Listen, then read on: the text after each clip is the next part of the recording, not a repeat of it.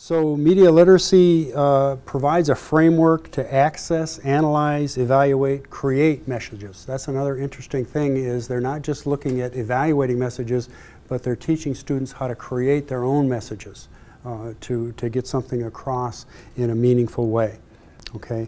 And to understand the role of media and to recognize that, that everyone who's doing something in media has an agenda. So the, the purpose is to be literate in all forms of media, being able to ask questions about where is this coming from and, and what's their purpose and who, has, who profits from this and who gains from it. And, and asking questions about the relevance of the information and then knowing how to go deeper. And, and those resources are out there.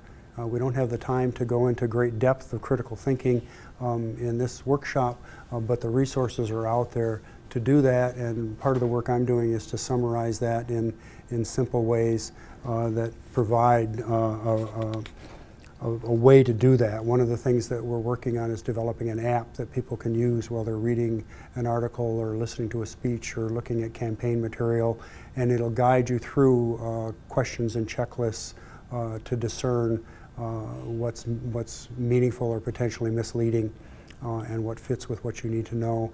And then it'll automatically generate an email to the source of that, particularly if it's divisive or fear-based information, letting them know that you don't appreciate that.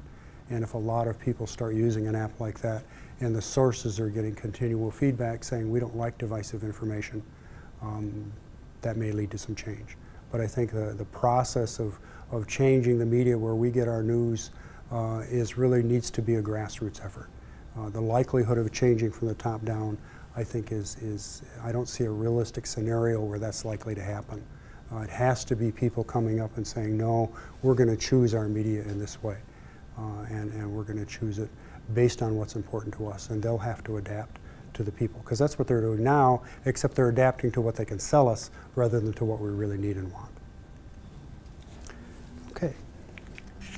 And those are the core concepts of media uh, literacy. We've talked about a number of them, that, that uh, message is constructed and it has its own rules and its own process. And different people will experience it in different ways depending on their background. Um, and there's values and points of view that are, that are presented that we don't think about if we don't stop and ask those questions. Um, and there's a reason their profit or power are the two main reasons, okay, that a lot of the media comes out. Uh, but it's good to know that reason. What are they trying to accomplish? What do they gain? And the sixth one was just added. I actually, that's not on your handout because it was part of a, of a uh, webinar that I sent in on yesterday, and this one's been added. Um, that they influence our beliefs, values, attitudes, and democratic process. And that's happening all over the world.